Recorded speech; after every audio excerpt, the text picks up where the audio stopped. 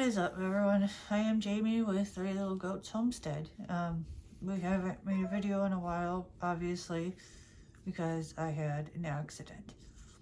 I was hoping to make this video after my jaw was unwired shut, but I seen oral surgery a couple days ago and they decided that it needed to be wired for another two weeks. So I'm making this now. Hopefully the audio doesn't suck. I'm literally filming on my phone because I can't go out to my office to edit. So I'm to do this all in big, one big take and not have to edit anything. So sorry about the crappy quality that it is. But I just wanted to say thank you for everyone for the thoughts and prayers.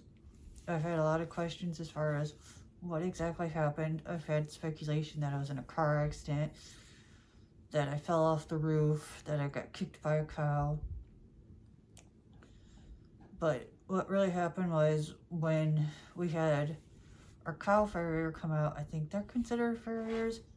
I made a video a couple months ago of our cows getting their hooves trimmed. Well, it was time for the rest of the girls to get trimmed, so we called him out and the big machine that the cows go in actually lifts the cows up. I don't know, I don't remember what happened exactly, but somehow I got stuck in the equipment and it lifted me up and it crushed my left arm. Thankfully my left arm isn't broken, but I've got some damage that I've got to get addressed after everything else is somewhat addressed. Um, the biggest injury was obviously I broke my jaw, so my jaw is wired shut. Fun fact, I had my jaw wired shut 20 years ago, so it's nothing new for me. But unfortunately, I also broke my neck. I have a C2 fracture. They call it a hangman's fracture.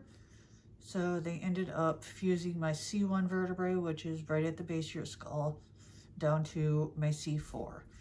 I haven't seen neuro since my surgery. I actually go back this coming week to get the staples removed. If you follow me on Instagram, I've been kind of doing little updates there. But hopefully, once I go to see neuro this week, they'll remove my chest plate and I'll be able to just use my neck brace, which would make doing anything a whole lot easier because right now I'm braced from here down to here. And it also is on my back as well. But thankfully, there's not too much nerve damage. Um, my hands are still a little bit numb, but I think that'll come back with time. But I can walk. I can feel pretty much everything. So that's a win in my book. But it's going to take some time. Jesse has a couple videos planned so you'll probably see him a lot. And I may make a couple appearances. Right now, I can't really do anything on the farm. I'm literally confined to walking around the house and being inside unless someone is right there with me to make sure I don't fall, obviously. So, but Jesse does have some stuff planned for the channel to try to keep videos out. So, I think I covered everything. It's really hard to talk, obviously, so just know that I'm doing okay. We are holding down the fort, trying to get ready for an Arctic blast. So poor Jesse and the boy are doing amazing at keeping the cows milked and taking care of all the animals while being a man down. And I think that is it.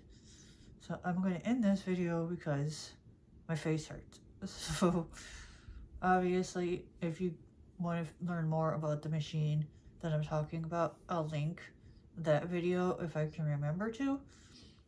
And if you want to go and check out some of our older videos, that really will help our channel kind of stay relevant in the algorithm until we can start really putting videos out again.